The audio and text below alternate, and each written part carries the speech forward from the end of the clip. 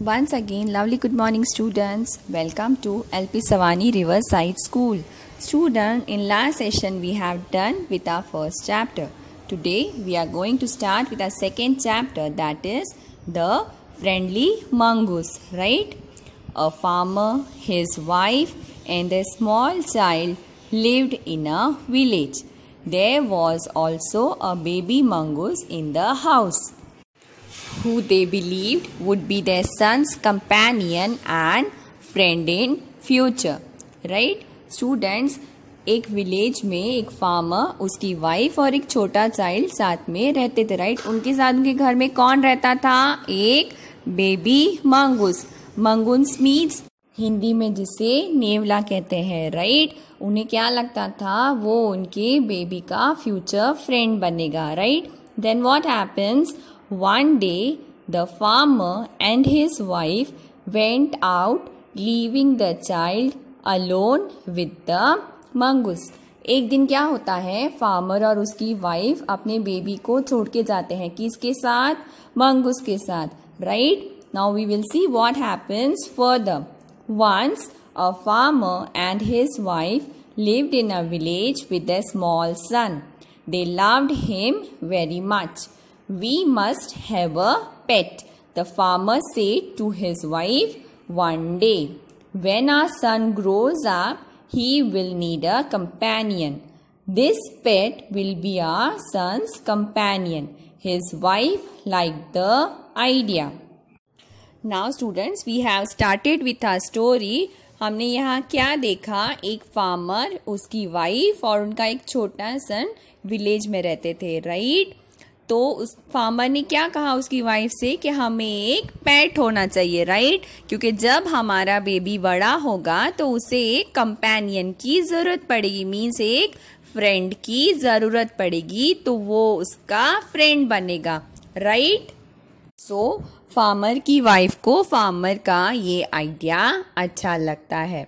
One evening the farmer brought with him a tiny mongoose It's a baby mongoose, said his wife, but will soon be fully grown. He will be a friend to our son. फिर एक दिन शाम के time farmer था वो एक tiny mongoose लेके आता है राइट एक टाइनी नेवला लेके आता है अपने साथ तो उसकी वाइफ क्या बोलती है ये तो छोटा सा बेबी मंगूस है राइट बट जल्दी से ही वो हमारे सन का फ्रेंड बन जाएगा। Okay students now we will continue with our story further let see what happens both the baby and the mongoose grew in five or six month the mongoose had grown to its full size a lovely animal with two shining black eyes and a bushy tail right अब क्या होता है, वो छोटा baby और वो छोटा mongoose एक साथ बड़े होने लगते हैं और फाइव टू सिक्स मंथ्स में वो जो बेबी मोंगूस था, वो एकदम बड़ा हो जाता है। उसकी प्यारी दो ब्लैक शाइनी आँखें थी, उसकी टेल थी it was a bushy tail the farmer son was still a baby in the cradle sleeping and crying alternately but जो फार्मर का सन था, वो अभी तक छोटा बेबी ही था। किसमें सोता था? वो क्रेडल में। He used to sleep there and he used to alternately cry sometime he used to cry one day the farmer's wife wanted to go to the market. She fed the baby and rocked him to sleep in his little cradle. Picking up the basket, she said to her husband, I am off to bazaar. The baby is sleeping. Keep an eye on him. Frankly, I don't live, like to leave the child alone with the mongoose.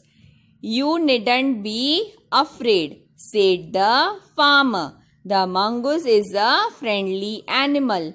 It's as sweet as a baby and they are the best of friends. You know. अब क्या होता है एक दिन farmer की wife को market जाना था राइट तो वो अपने बेबी को खाना खिला के उसको क्रेडल में मीन्स उसका जो झूला झूला था, पालना था, उसमें सुला देती है और वो बास्केट उठा के अपने हस्बैंड को मीन्स उस फार्मर को कहती है कि मैं बाज़ार जा रही हूँ, आप बेबी को मंगूस के साथ अकेले नहीं छोड़ना राइट तो इस बात पे उसका हस्बैंड उसे क्या कहता है कि mongoose he is a friendly animal वो बहुत फ्रेंडली एनिमल है और वो he is as sweet as our baby और वो दोनों बेस्ट फ्रेंड्स हैं, ये आपको पता है। right? The wife went away, and the farmer, having nothing to do in the house, decided to go out and take a look at his field not far away. He ran into some friends on the way back and didn't return for quite some time.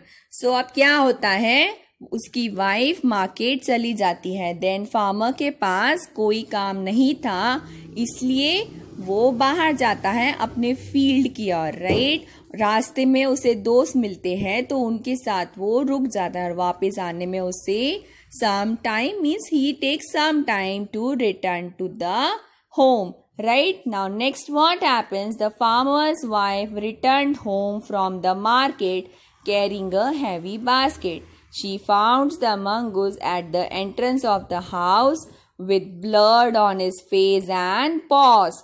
She jumped to the conclusion that it was her son's blood and the mongoose was the guilty one. We continue with our story.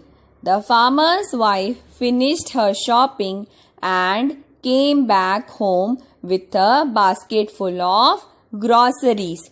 She saw the mongoose sitting outside as if waiting for her.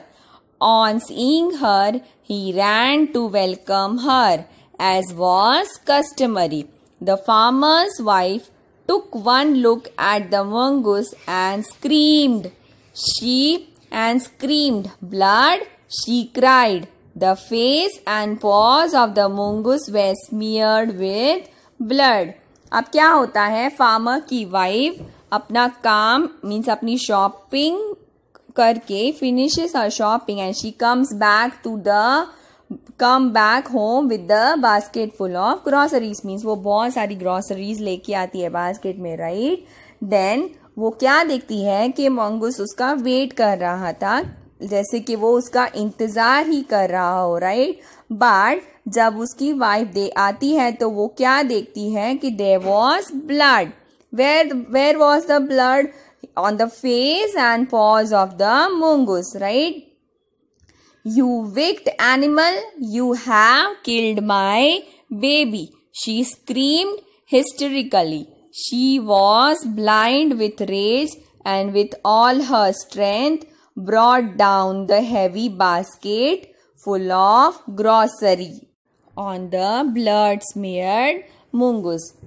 Right? अब क्या होता है, जब वो देखती है कि मुंगुस के फेस पे और उसके पॉज पे ब्लड था तो उसे ऐसा लगता है कि मुंगुस ने उसके बेबी को मार दिया। तो वो गुस्से में एकदम चिल्ला के क्या कहती है उसको you have killed my baby she was blind with rage and with full strength जो इतना वो गुस्से में थी, उसे ऐसे दिखाई नहीं दे रहा था तो उसके हाथ में जो वो बास्केट की ग्रॉसरी की बास्केट थी, उसने वो कहा कि डाउन द हैवी बास्केट किसके ऊपर रख दी? कहाँ पे? वो जो मुंगुस था, जिसके जिसके फेस पे ब्लड था, उसके ऊपर उसने वो डाल दी right for today this much only students further will proceed in next session. Okay, students, have a great day ahead.